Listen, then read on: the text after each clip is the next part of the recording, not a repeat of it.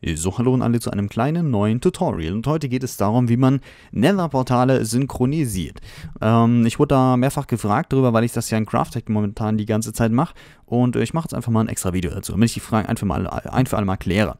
Was äh, heißt das Nether-Portal synchronisieren? Das ist jetzt die Frage für diejenigen, die davon noch nichts wissen. Ich erkläre es ganz kurz.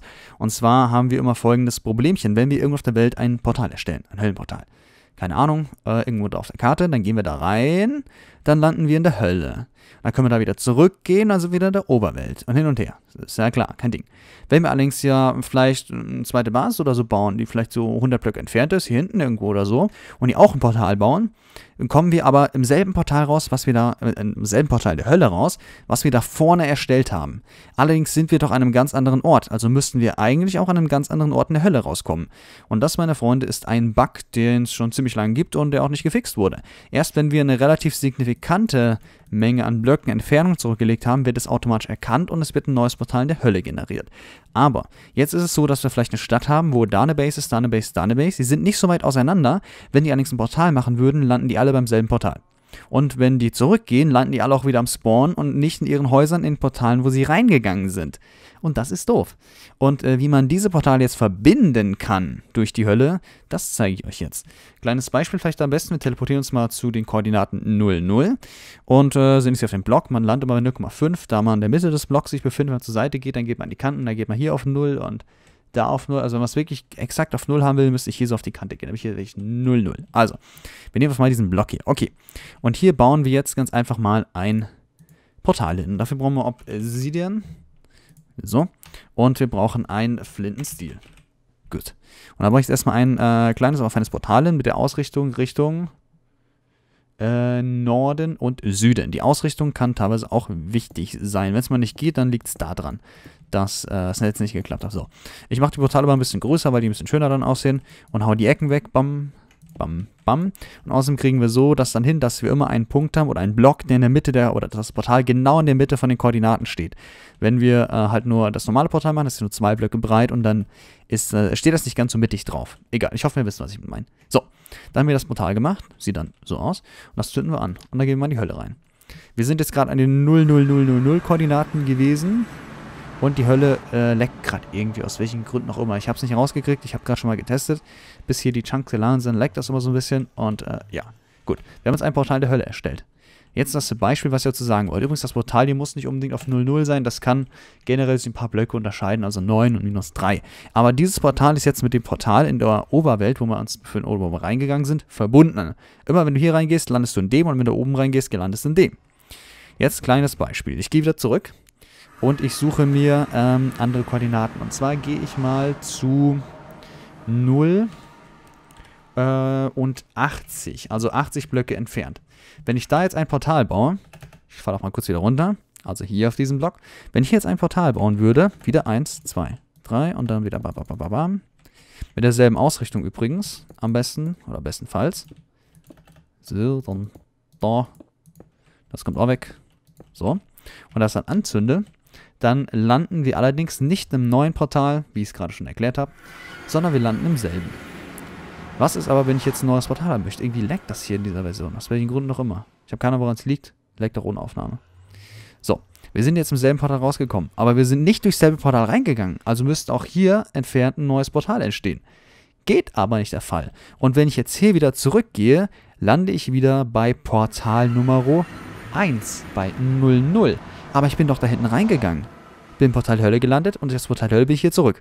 Weil das Portal, mit dem der Hölle verbunden ist, das ist eine Hölle mit dem hier. Und wenn ich da reingehe, ist es durch einen Bug so, dass kein neues Portal generiert wird, sondern das bereits vorhandene hiervon genommen wird und du landest hier. Und das kann unter Umständen zu Problemen führen, weil es einfach unübersichtlich ist. Was wir jetzt machen werden, ist folgendes. Wir rechnen ein bisschen mit den Koordinaten. Wir wissen, dass in der Oberwelt acht Blöcke für die Hölle nur ein Block ist. Du kannst in der Hölle also weit reisen. Gehst hier rein, reißt in der Hölle 100 Blöcke, baust ein Portal und dann bist du praktisch in der Oberwelt, theoretisch, äh, das Achtfache davon gereist. Und ähm, ja, jetzt verlinken wir einfach mal das Portal mit dem neuen der Welt. Wir sind jetzt 80 Blöcke in die Richtung gerade geflogen. Also könnten wir auch einfach das runterbrechen, wieder in die Hölle gehen. Achtung, es laggt wieder. Ich habe nicht rausgefunden, wieso. Das ist eine Flatmap, die ich mir einfach erstellt habe. Das heißt, eigentlich sollte da nicht so viel ruckeln. Und jetzt kann ich ja theoretisch einfach mal hingehen, mir die Koordinaten wieder ansehen. Ich bin ja in der Z-Koordinate 80 Blöcke gegangen. Wir sind jetzt hier bei ähm, 0, 0 ursprünglich gewesen. Moment, müssen wir hier lang? Ich glaube, das Portal hat sich auch nicht richtig ausgerichtet. ähm, ich, ähm, wir hatten ja 000 als Ursprungsstandort und das andere Portal war bei 0, keine Ahnung, 10, 80. Und wenn wir das in die Höllenkoordinaten umrechnen, müssen wir 0 und äh, Z-Koordinate 10 nehmen, weil wir es natürlich 8 teilen müssen jeweils. Also müssen wir gucken, so von hier vielleicht äh, auf die Koordinate 0 gehen. Und jetzt da auf die Koordinate 80 äh, auf, auf die Koordinate 10 fliegen. 0 und 10. Das wäre ungefähr dann hier. Und dann müssten wir hier praktisch das zweite Portal bauen. Achtung, mal ganz kurz hier. Äh, ich baue mich kurz zur Seite. 0 und 10. Sind wir noch nicht ganz da. Jetzt sind wir da. Eins zur Seite. Hier müssen wir hin. Und nach Norden, Süden ausgerichtet, also so. Wir bauen hier das zweite Portal hin. Ich mache es auch wieder groß, weil ich eben die großen Portale mag. Dann auch wieder hier eins hin. Und das zünden wir dann an. Und dann kommen wir jetzt bei dem zweiten Portal raus, was wir in den Koordinaten sehen mussten, nämlich 0 und äh, halt die y-Koordinate und die 80. y-Koordinate ist übrigens egal, es kommt nur auf die Richtung an, in der wir uns befinden. Und wie ihr gerade sehen könnt, hier ist das Portal 80 Blöcke entfernt, eine sehr, sehr große Entfernung. In der Hölle ist das andere Portal aber nur... Ja, die Lex ist ein bisschen mal schwer beim Erklären. So ein kleines Stück entfernt, das sind 10 Blöcke. Also ein Zehntel davon. Und normalerweise, also die Portale spawnen nicht immer punktgenau. Ähm, wenn wir das Portal jetzt auch umsetzen würden auf 0.0.0, wirklich was wir hier hatten, 0.00, das wäre dann ähm, ungefähr hier. Dann könnten wir das Portal hier sogar zerstören, das andere, und haben ein geordnetes, äh, komplettes äh, Portalleben hier in der Hölle. So, das machen wir nochmal weg. Das Portal machen wir auch weg. Und jetzt synchronisiert sich das äh, neue Portal, was wir bauen, mit dem ersten wieder. Weil wir die entsprechenden Höllenkoordinaten von der Oberwelt genommen, oder die, die Oberweltkoordinaten in die Hölle verschoben haben. Jetzt auch wieder drei Blöcke hier, da drei Blöcke, dann wieder hier drei Blöcke. Bam, bam, bam. Dann da drauf. Das zünde ich an. Und jetzt haben wir exakt die Situation nachgebildet von der Oberwelt in die Unterwelt. Dieses Bild entspricht genau dem Bild von hier oben diesem. Und hier sind wir wieder bei 00. 00. In der Hölle ebenfalls 00. Hier haben wir 010 bei dem zweiten Portal. Und das ist umgerechnet in der Oberwelt 080. Und so müsst ihr einfach nur die Koordinaten umrechnen und äh, ihr habt's. So, das heißt hier durchgehen bei 0,10 und wir kommen bei 0,80 raus. Ganz einfach, das war's. Einfach ein kleines bisschen Zahlen würfeln und ihr könnt das immer verifizieren, indem ihr hier oben links meine Koordinaten anschaut, dass wir beim richtigen Portal rauskommen. Und ja, die sind jetzt synchronisiert. Also, Base A, Base B, in der Hölle ebenfalls zwei Portale. Und so kann man sich theoretisch einen Portalraum bauen. Wenn man ein bisschen rumspielt, kriegt man es vielleicht sogar hin, dass man in der, Hölle ein bisschen rotieren kann, dass sie nach links oder nach rechts zeigen. Und da kann man rund so eine Art Raum anordnen.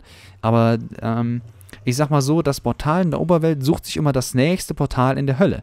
Wenn wir also das Höllenportal um drei Blöcke nach hinten verschieben würden, dann wäre es theoretisch so, dass es vielleicht auch noch synchronisiert wäre, auch wenn es nicht an exakt denselben Koordinaten steht. Da kann man vielleicht ein kleines bisschen schummeln, wenn man was Schönes, Schönes bauen möchte, also so eine Art Portalraum, dass die wirklich so angeordnet sind wie im Flohnetzwerk aus dem Zaubereiministerium oder sowas im Dreh. Das müssen die auch sortiert sein. Auch wenn die Basen in Wirklichkeit nicht in dieser exakten Reihenfolge angeordnet wären. Und es ist einfach super nützlich, das irgendwie zu bauen. Und äh, ja, man kann weite Strecken einerseits halt durch Hölle äh, äh, hinter sich bringen und äh, man kann es auch richtig schön ordnen. Schön Portalraum machen. Also auf einem Server, wo viel, viele, viele, viele Leute spielen, einfach genauso machen. Gut. Vielleicht nochmal zusammenfassen. Erstens, Portal bauen. Zweitens, Portal der Hölle generieren, indem man einmal durchgeht. Drittens, die Koordinaten nehmen und ausrechnen von dem äh, Portal, was man praktisch hat, oder äh, von, dem, von dem neuen Portal, was man baut, die Koordinaten umrechnen, die Höllenkoordinaten, dann in die Hölle gehen und bei diesen Höllenkoordinaten dann das äh, neue Portal bauen und schon hat man die beiden Portale miteinander verlinkt. Und äh, ja, mehr oder weniger wäre es auch schon gewesen. Ich weiß, es ist ein bisschen äh, vielleicht, vielleicht schwer zu erklären, den Sachverhalt. Ich äh, war eigentlich auch zu faul, mich da mal reinzudenken, aber mittlerweile denke ich mir, äh, ja, ist eigentlich ja ganz einfach oder wie auch immer. und auch ganz nützlich. Und ich werde es ab sofort in jedem Projekt machen, dass ich einfach so einen Portalraum baue, wo viele Leute oder so sind, weil es einfach übelst effizient ist und, und sehr nützlich ist. Und naja, falls dazu noch Fragen sind, haut es in die Kommentare, aber ich versuche mal so, so ausführlich wie möglich alles zu erklären und vielleicht nochmal zu wiederholen.